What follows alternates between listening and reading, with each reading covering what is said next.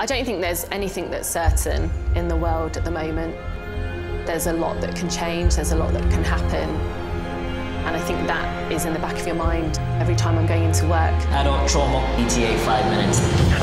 Got an assault coming in. He's stabbed multiple times. Five-year-old hit by a car, dragged for three metres, degloved the right side of their scalp. Code red. They're now saying partial amputation, a traumatic cardiac arrest. This is just disastrous. Travel by cow. I can't make that up. Oh, it's a proper day today, isn't it? St George's, London, one of Britain's busiest A&E departments, under more pressure than ever. What are you doing? It does sometimes feel like a battlefield and it feels like a losing battle at times as well. You need to calm yourself down. I have 10 traumas and absolutely no space. 25-year-old jumped from a third floor balcony. This is the point where we can make a difference. Thank you, everybody. Thank you. A place where life, Best place to make friends. A&E. love, and loss Scariest thing in my life. I thought I lost it. unfold every single day.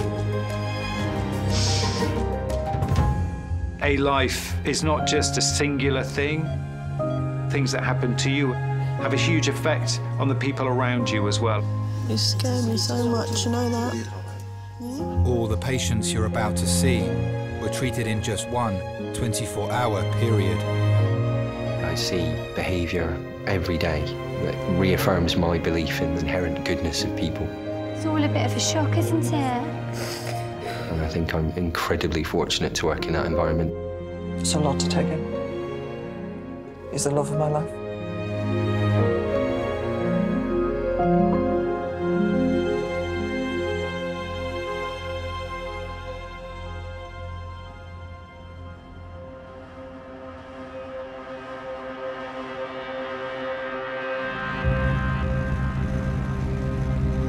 Rich, he just loves that adrenaline.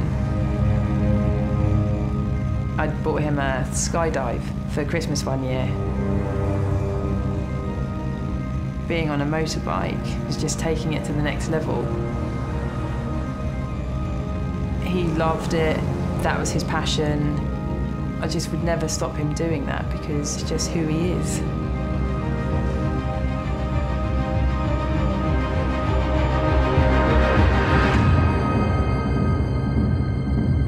There's bad traffic on the M25 after an accident involving a car and a motorbike. Emergency services are on the scene.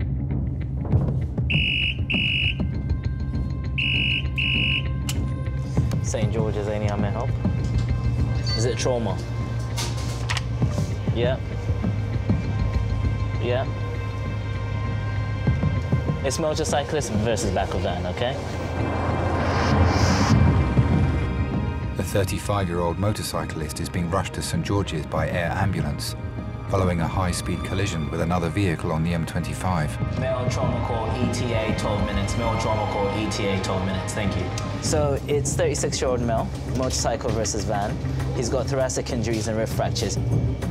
If you're on a motorbike, you're unprotected. And if you can imagine all that force is going straight into the human being, They have adult uh, trauma for recently. you may have a head injury, lung injuries, spinal injuries, fractures of their pelvis where they're effectively bleeding to death.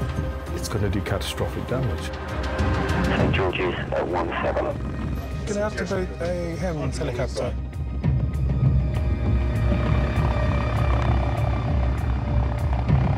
Rich left a little bit late for work that day. And my phone went. It was a policeman. And he'd said that Rich had been in an accident. And how long would it take me to get to St. George's?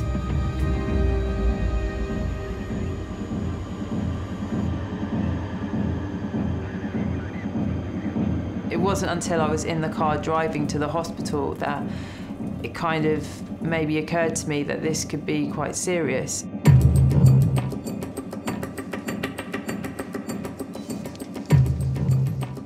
Rich has been brought directly to the CT scanner, so doctors can quickly assess his injuries. This is Richard. approximately two hours ago, a motorcyclist involved in a collision with a back of a box van. Clipped a car on the slip road of the M25, hit the back of a box van. Injuries top to toes. He's got a right clavicle injury, a right chest wall injury. He has a sensory level of approximately T6. On our arrival, he was GCS 15 and seemed to move only his upper lip. Name's Niv, I'm one of the orthopaedic doctors, just going to assess your head to toe. So the trachea is central. Nice deep breath, sir. Breath sounds on the right. Chest wall tenderness on the left side. Around a four equal and reactive.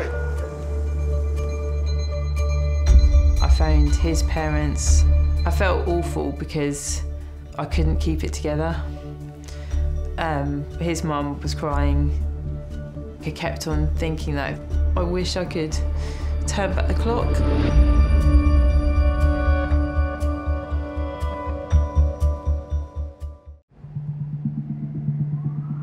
Motorcyclist on the M25 was taken to hospital by air ambulance following the incident during rush hour.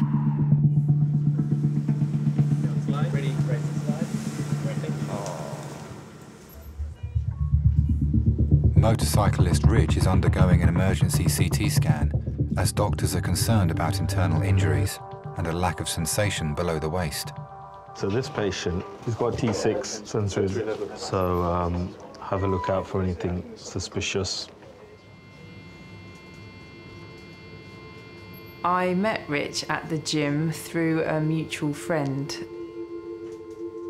I do personal training and sports massage.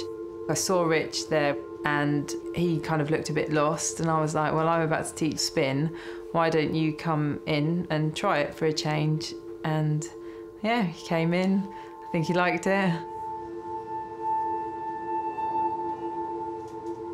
I think we'd only met like two weeks prior, but we literally, we just stood in the gym for a couple of hours one evening just chatting. And yeah, and then after that, we started chatting on Facebook, as you do, uh, messaging each other. He just seemed really nice. Okay, mate, there'll be a voice telling you to breathe in and hold your breath. Just do the best you can, okay? He was like, you know, do you want to go out for dinner? We went to Pizza Express and we were there and we basically got kicked out because we were the only ones there chatting. Um, and he came back to mine. I think he left probably about half two, three in the morning. It's that proper like, oh, do I like him? Don't, you know, yeah, I think I like him. Breathe in and hold your breath.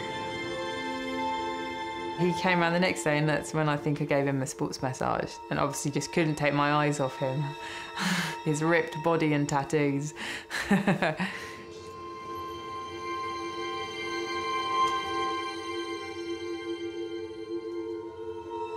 we just kind of kept on seeing each other kind of every day. We'd done a few weeks and had maybe a peck on the cheek like friends. We eventually had a kiss and it was like, I think I pretty much was like, so are you going to kiss me then or what?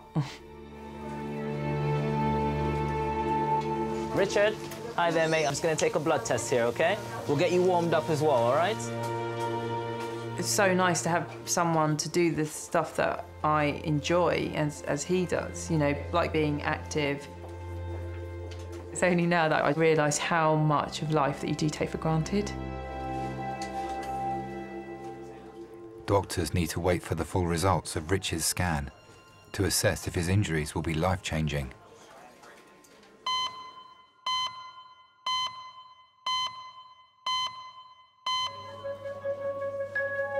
This is the accident and emergency here. An emergency, oh yes. And if they keep you in, they'll, they'll, they'll move you to a ward. Yeah, I didn't know the legs were that bad when it was. You Yeah, had yeah. to go in the hospital, he said. Yeah. Oh dear, I don't know. Yeah. Oh, They slide off there, don't they?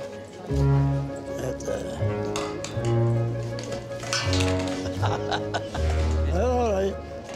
Yeah, Safe in there. Is that all right then? Put them around like this. oh dear. Yeah. Should be all right now. Yeah. Anyway, I'll have to be going now. Uh-huh. Anyway, I'll have to be going now. I'll have to go now. Tell But I'll see you soon. Are you will indeed? Yeah, yeah, okay. All right. Thanks very much. Thank you very much indeed. Ah, ah. Yeah, man. Man just caught my leg, man. I was jumping a wall, innit, and I, and I caught the, the edge. Mad, fam. The cut is deep as well. Yeah, I'm waiting now. I'm at the waiting, um, waiting area to be seen. Yeah, I'm at the A&E. Who take my bloody papers?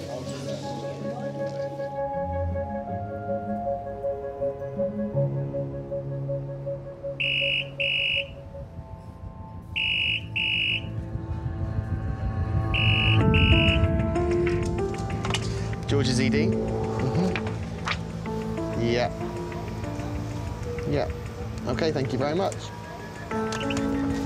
Adult trauma call, ETA 10 minutes. Adult male trauma booked into resus 6, please.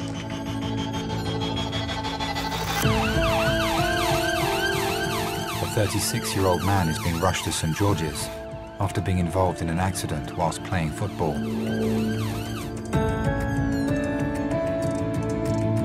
I was in a supermarket shopping when I got the phone call that Justin had had an accident. I thought she told me that he'd broken his thumb, but because they were driving, I still couldn't really hear what had happened. But I did hear them say Justin was being taken to St George's Hospital. At that point, I realised that it must be something serious.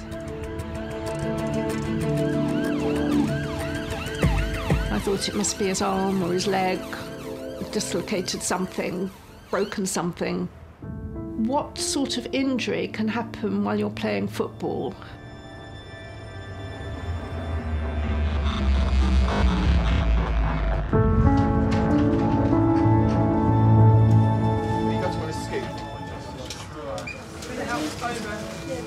Hi. Hello. Evening. This is uh, Justin. He's a 36-year-old male. At 6.46 this evening, he was playing football, ran backwards into a brick wall. KO for 5 to 10 minutes reportedly.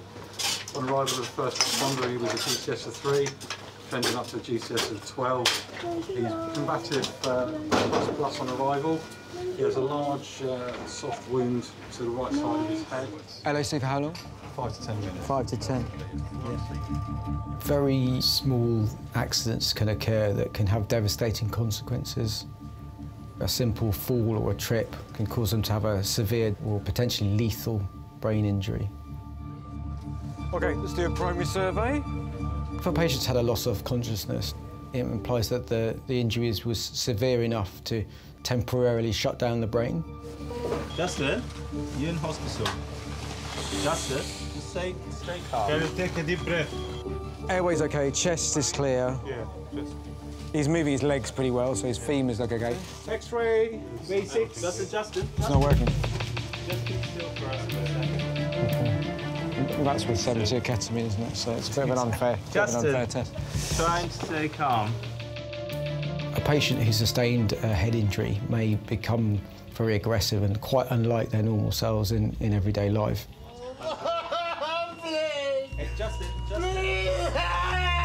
Justin. Right, listen. Oh, Justin, stay calm.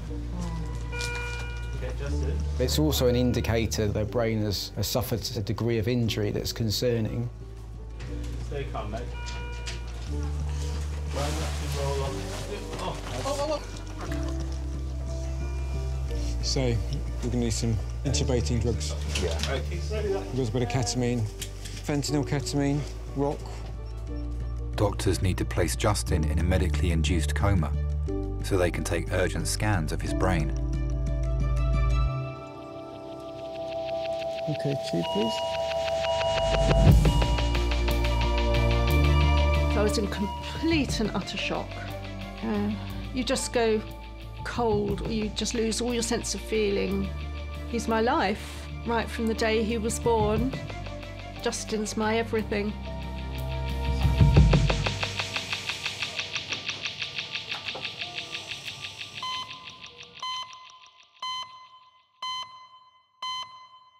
What's your name, sir? I'm booking you in now. Do you want to stay up? By the way, did you see this? Which movie character should you play? Oh, that was fucking hilarious. What's his character called? Hagrid. Um, Hagrid, that's it. Thank you for that. You look nothing like Hagrid. Thank you. I mean, for a start, he's got a beard. and not just a little beard, like a lot of beard. I know.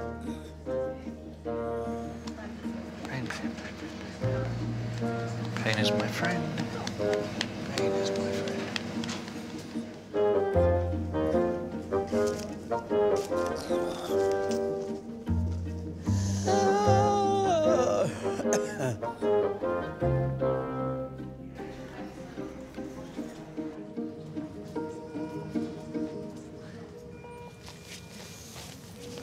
How tall are you, Rich? Six foot. Six foot. Big man.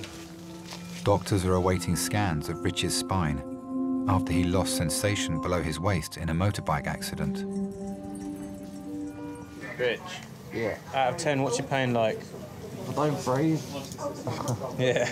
Um, yeah, it's caught my high man on my chest. Feel like I've been hitting the chest with a sledgehammer. About seven or eight? Nine. Nine, okay. We started going out in April and he moved in about June. He introduced me to his son quite early on.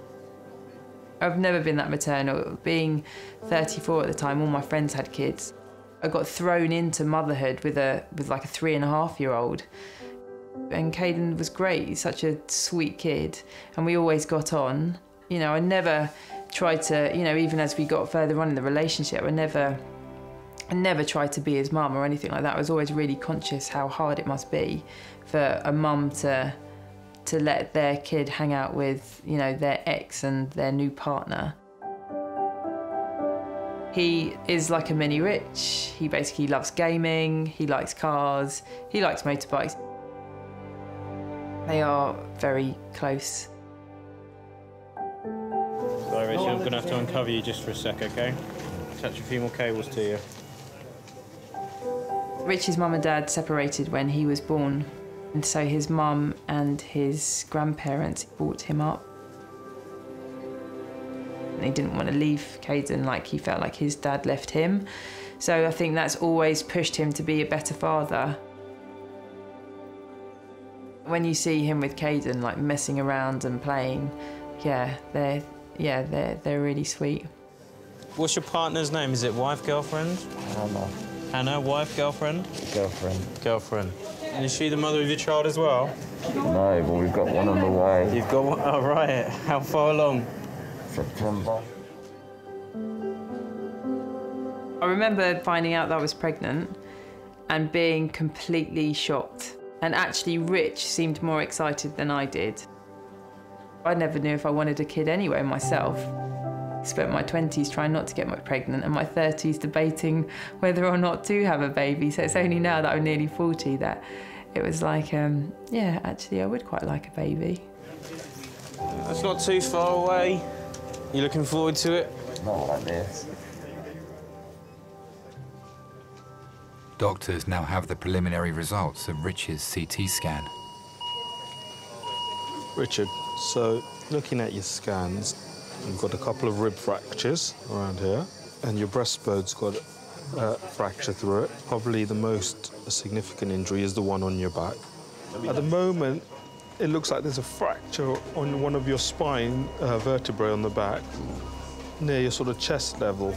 Now, the doctors who saw you first just said that you weren't feeling very much around sort of tummy chest area. I'd just like to re-examine you again just to see if that's changing. When someone comes in with spinal trauma, we reassess the patient to see what their true level of function in their legs are, to see whether they've got any sensation, to see whether there's any movement in any part of the leg. I'm going to start with your head, okay? Can you feel me touching your hair? Yeah. Can you feel that? Yeah. And is it the same? Yeah. On both sides? The same? Less. Less. I, I've just touched you. Could you feel anything? Oh. No. No. Just, when I touch you, just say yes. And the feet. Richard? Yep. I'm, I'm, I'm touching you around your knee area. No. Nothing. Can you move your feet for me? Oh. Okay. Areflexic flaccid paralysis with a definite T6 sensory level. Flaccid paralysis is when your legs stop working and they stop working in a way that they become wobbly rather than stiff. First thing that runs to my mind is spinal shock.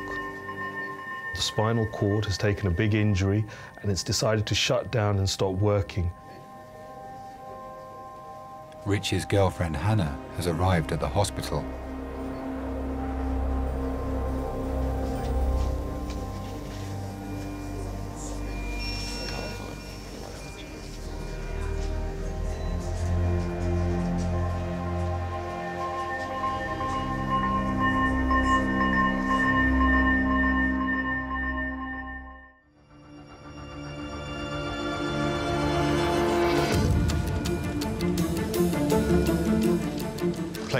Fell backwards, smacked his head on a wall. So he's going to have a scan and then... Five to ten minute LOC, Yeah. so fairly significant. Equal reactive pupils, bit roving eye movements though, and Okay. bradycardic at sort of 39. Yeah, I saw that. 36-year-old Justin needs an urgent brain scan after he lost consciousness falling backwards into a wall during a game of football.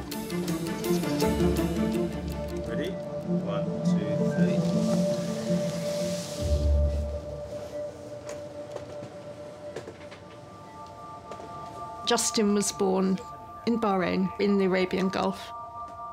I went to Bahrain with my husband when I was 21, and we lived there for 14 years. I was 24 when I was pregnant, which seems young now, but it was quite old in those days.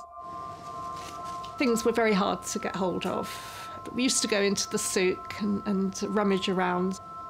We couldn't find uh, maternity clothes when we were there, so whenever any of my friends came to England, they used to go and we used to write a shopping list of, of clothes. Justin had a traumatic beginning coming into this world. He was born prematurely at 32 weeks, and he spent the first um, five weeks of his life in a, an incubator in hospital. The hospitals were quite primitive compared to this country, I would say. And he was taken to the um, local hospital, as they were the only place that had the incubators. He, it was touch and go then for him. I wasn't allowed to go and see him. I could see him through a window, but they were worried about infection. So I used to just look in and see this baby and think that he was mine. It was a Friday morning. Um, my husband and I were lying in bed. The phone rang. It was the hospital. They said, um, Mrs. Davies? And I said, yes. And Mrs. Davies, your, your baby's ready for collection. I was so excited. I was so excited. And I picked up the baby, and he didn't stop crying. he was just wonderful. He, he was such a beautiful baby.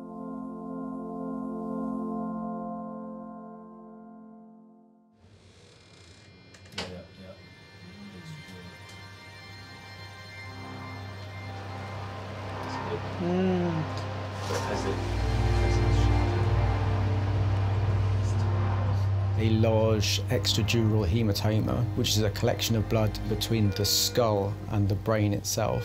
If that collection is actively bleeding, it can push the brain on the right side across over onto the left side. Okay. It implies a very significant injury.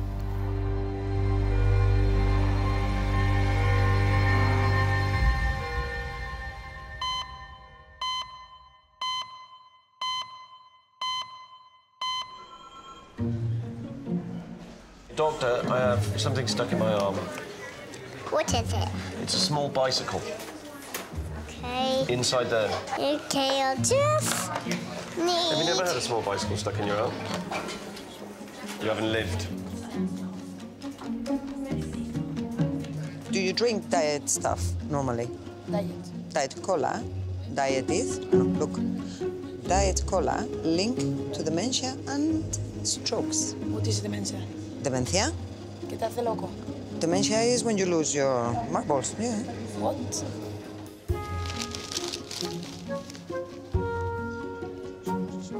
Michael. Michael. Oh, yes. Ah, it's you. sir?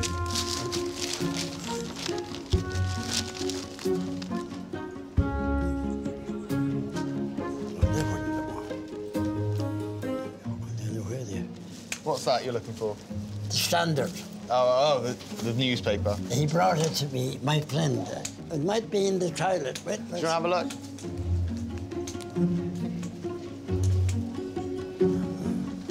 Oh, that's the girls' toilet. Michael? hey? That's the girls' toilet. Oh, sorry. My sight, oh, Jesus. Which one? Let's see, is there a pic? left that paper in there.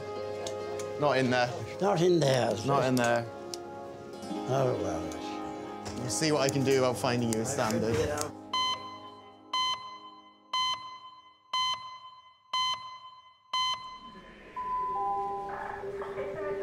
A&E consultants asked me to have a word with you about a patient who's come in uh, on his bike, slid and hit the back of a, a box lorry. Was- on the scene, he was noted not to be moving his legs.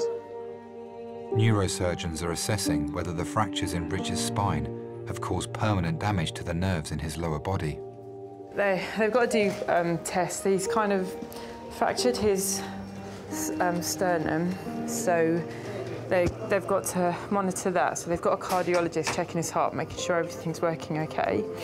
Um, he's fractured a, a load of ribs, and he's uh, got um, a fracture to his spine at the top. So at the moment, he can't feel anything below his chest. Rich is a bit of a late starter in life with his career. When we met, he was floor laying. It was never what he wanted to do. He's always been quite creative. An opportunity sort of came about where my friends run the prosthetics for Game of Thrones. He did a week's work experience there, wanted to try and pursue it somehow. So he sold the car, the love of his life, went to Manchester and did this six week course in uh, prosthetics.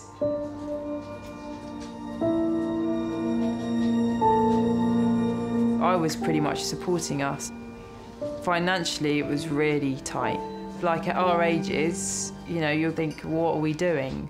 But at the same time, you've got to be happy.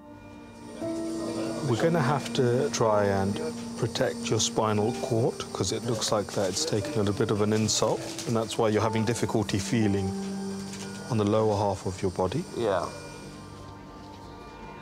He eventually got a job at Shepperton Studios working in the moulding and sculpting area. He was thrown in at the deep end, but he kind of thrived on it.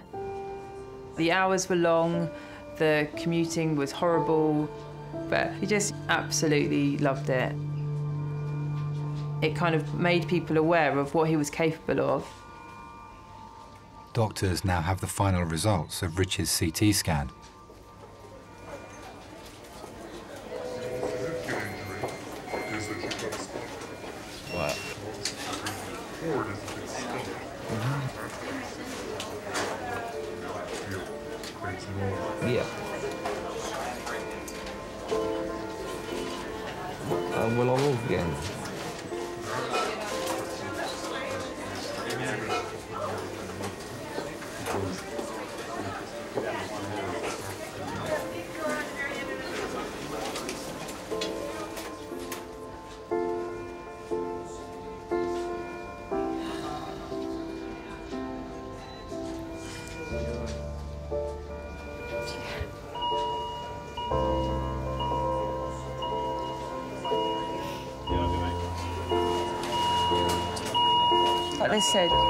spine's just in shock.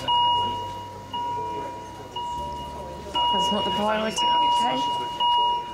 It'll be all right. It'll be okay.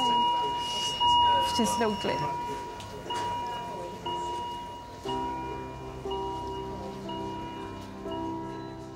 Rich will be taken to a specialist ward, where doctors will continue to monitor the level of sensation in his legs. St George's and Tooting. Yeah, yeah, he's just been moved up to neuro. Sorry, I'm a bit emotional.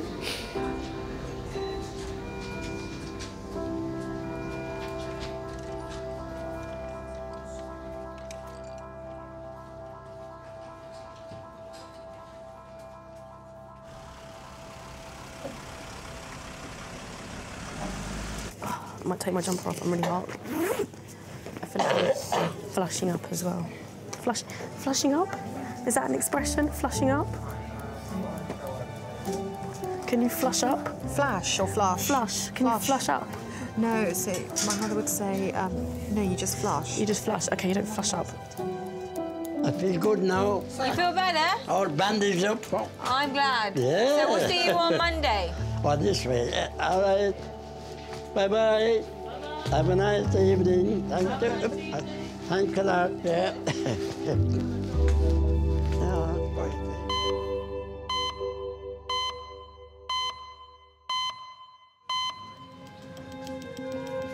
Justin's head scan has revealed two active bleeds on his brain.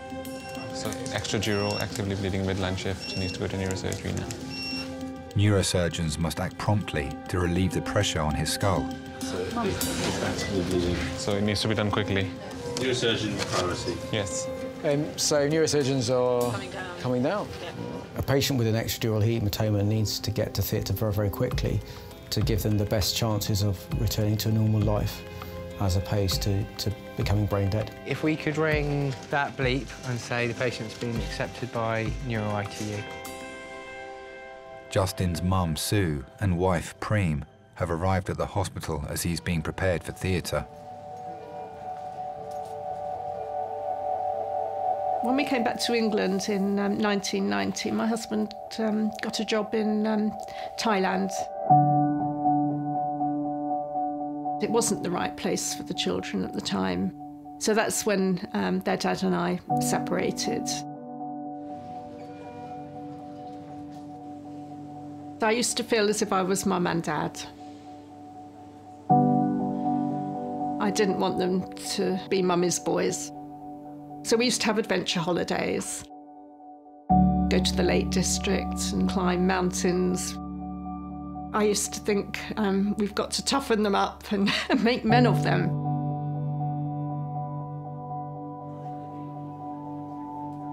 We had a lovely holiday once. We um, packed our bags and they had to carry everything on their backs, on their bikes.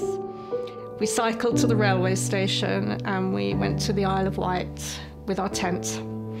And we spent the week cycling around the island, um, camping. At the time, they were saying to me, why can't we have proper holidays like everybody else? Um, they now look back and say it was the best holiday ever. he had a few girlfriends, but he never found the right girl until he met Preem in Thailand um, fell head over heels with her. Preem initially came over to England for a short holiday. It was a total culture shock for her when she came. He was very proud of her. He'd say, I love her so much, Mum but because of the complications of uh, marrying someone from a different country, he was unsure about marrying her. But I did tell him, I, I said, you know, um, you've just got to think, will you ever find anyone that you will love as much as Preem? And he said, no, I won't. And I said, well, that tells you that you must marry her. Hi. Um, one of the consultants here. Justin's not there. Yeah. This is Prem. So um, he was playing football and has somehow ended up running backwards into a wall and has hit his head quite hard. Now, the scans show a couple of bleeds on his brain. So the neurosurgeons are coming down to see him and then they will decide on exactly the type of surgery Oh, they think dear. that needs to be done. No, this is a big shock. When I heard he'd had a an injury through playing football, you think it's going to be a minor concussion. You don't realise it's going to be a big bleed like that. Yeah. This is quite a serious injury. Best case scenario is that they drain it Mm, and that it recovers completely. mm. Worst case scenario is that the swelling is becomes very, very big, Mm, brain damage. and possibly worst case is that he could die from it.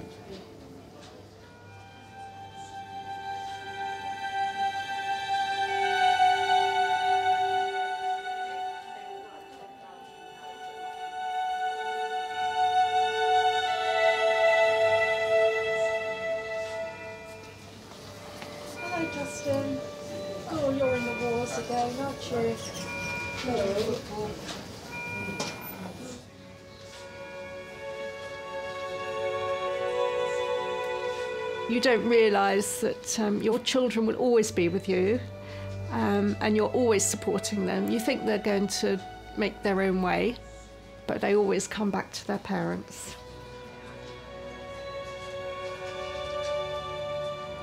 You don't think football's so dangerous, do you? It's an unusual injury to get from football. Normal brain is this kind of greyy colour. As you can see on this side, there's a large area of this colour white, which is blood. Oh my goodness. So there's qu- huge. quite a bit, lot of blood there, which I suspect they'll want to drain out. If you release the collection of blood quickly, then the midline shift will normally resolve and you could have a complete recovery, but you're never really sure till further down the line.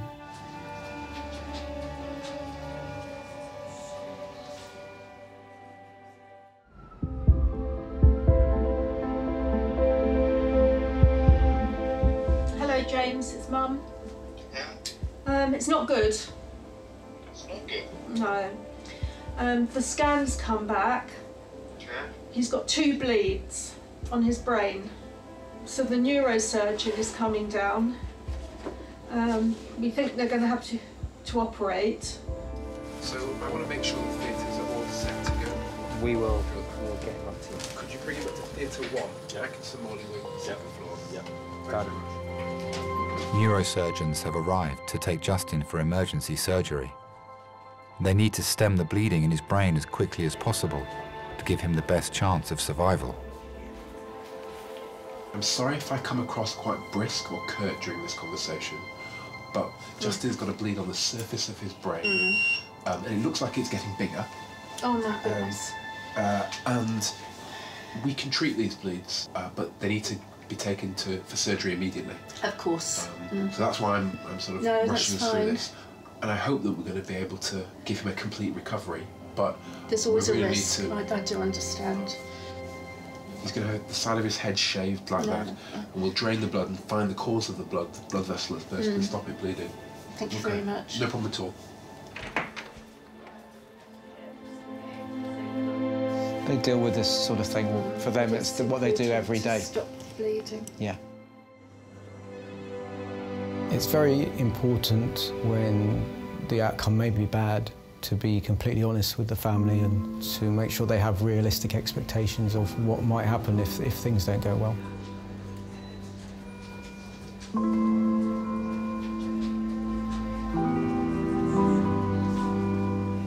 It always amazes me how relatives and patients can handle some extremely bad news that we sometimes have to give them. This has come completely out of the blue. So seeing people being able to, to cope with that with great bravery is, is always very special to see. Every day at work we see terrible things happening to, to people of all walks of life. So seeing that so regularly just makes me feel that you, You've got to really try and get the best out of your life. We're all given a limited period of time on Earth, so it's really to make the, the best of every day and enjoy your time here. Um, we're just getting ready. He needs to go to theatre. Yes, going straight up. Yes. Almost the second you have had your chat with him, he is leaving. I know. Literally two seconds. Yep. Oh,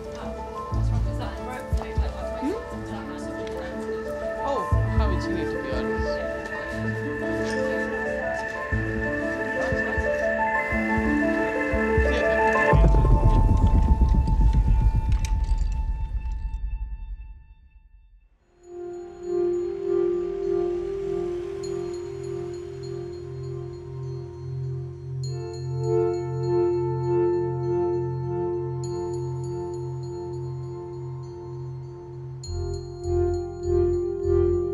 Was a, an absolutely terrifying time for everybody. We just feared that he would be nothing when he came round.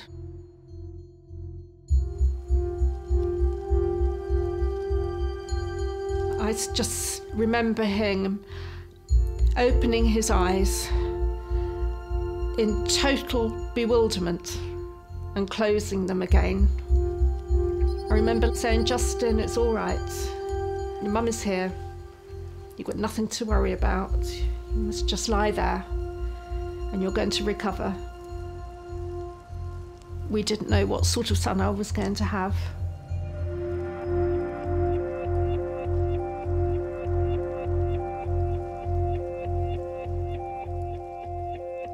Hello, darling. How are you? Justin, how, now how are you? It's the main thing. You're very chatty today. That is. No, you are. You're very happy. How's Preem doing? How are you, darling? I'll, I'll be here.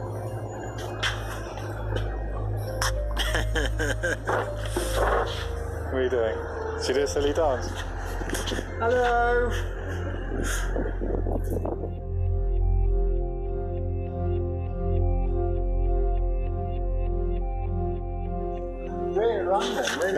Right in the middle of London. The future is unknown for Justin. He won't be the same. The brain never heals itself. It does rewire, and it's rewiring itself very well. It has been a challenge, but that's what I expect of myself. And um, I hope that I've, um, I hope I've been a good mum.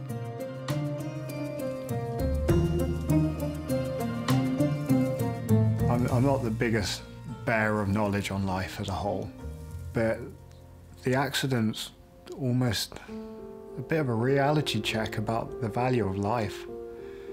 And I don't know, having a brain injury, it, it can weaken you as a person.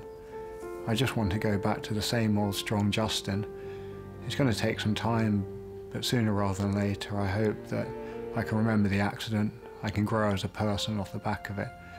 But I'd like to believe that I can go back to my old ways, shall we say.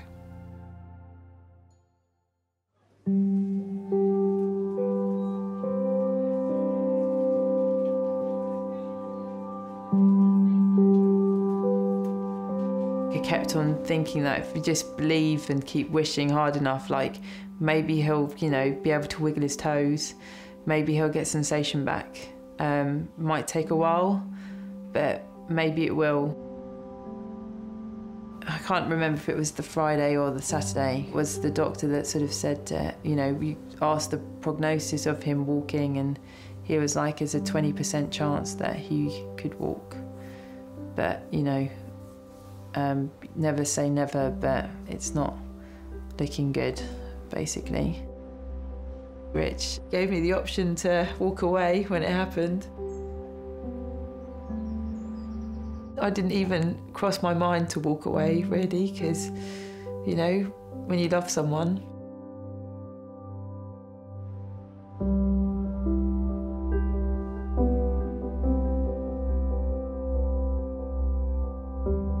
As soon as I'd woken up after being knocked out, I knew straight away. I remember touching my stomach and it just felt like dead skin. And I, from that point, I knew what was going on. So it's it's it's a difficult thing to um, come terms with. When you're put in a position like this, you don't really kind of expect people to hang around. I mean, you lose so much, you just kind of expect to lose everything else.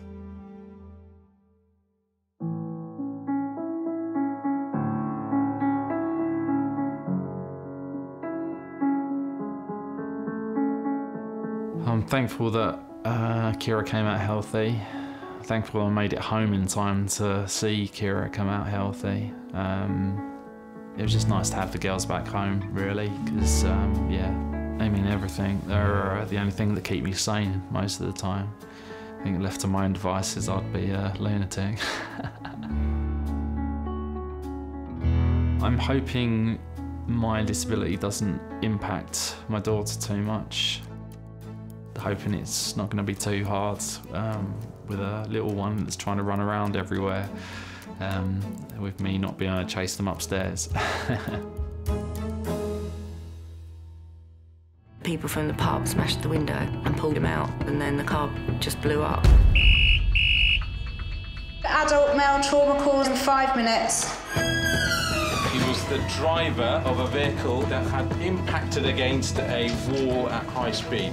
Do not move your neck. Actually, don't move any part of your body right now. You're talking about a vehicle that was traveling at high speeds and then came to a stop all of a sudden.